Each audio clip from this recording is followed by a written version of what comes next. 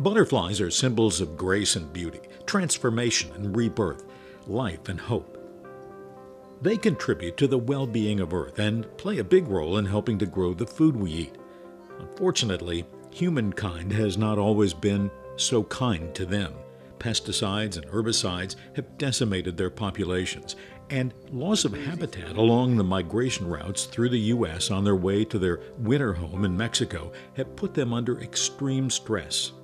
So anything we can do to help them is to their benefit and ultimately to ours. That's what Dave Ekardt and his wife Joy in Tampa, Florida have been doing ever since they became interested in butterfly gardening. We have exciting news this morning. We've had five butterflies come out just within the past couple hours. Two of them are about ready to be released. Uh, three of them still drying out a little bit. You see the black lines on them as they come out of the chrysalis. Those black lines are filled with fluid. They're kind of like veins. They fill with fluid and the wings expand. And it takes them a while to uh, if it's a male, get to the point like see a this black one dot here, there and there. signifying he's ready to get out and fly. Monarchs are absolutely dependent on one plant, the milkweed.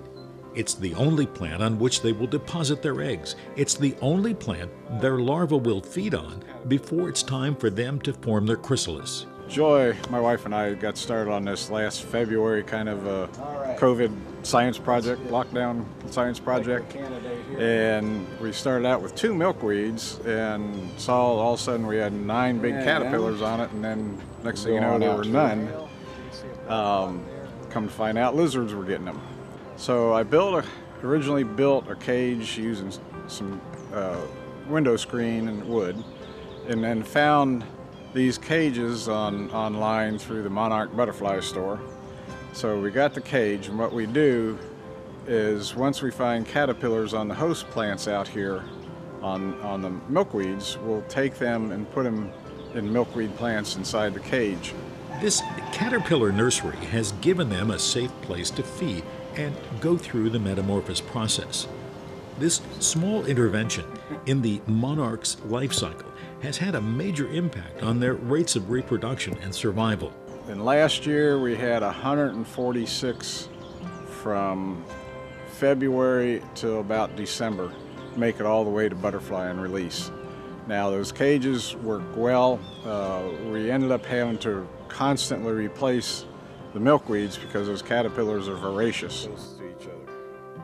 Ekardt, who served in the Marine Corps during the Vietnam War, is very aware of how small things can make a big difference. It's as simple as going to your local plant store and buying milkweed, some butterfly friendly flowering plants to give them a food source, and then giving them a safe place to complete the last step in their life cycle. And I found the easiest way to find plants that the butterflies will like the nectar of is when you're at the plant nursery. Look at which ones the, the bees are getting on. And those are, are ones that I'll buy and plant here for the butterflies to get their sustenance off of. Give Mother Nature a little bit of help. It goes a long way, as long as you don't get uh, too invasive in it. Now we've probably starved some lizards out of having some meals off of these uh, caterpillars, but uh, in the long run, I think we, have done a pretty good job of helping out the monarch population. And this would be a good project for, for school kids too, as a science project. So, have a good day. For Time to Travel, this is Phil Dean in Tampa, Florida.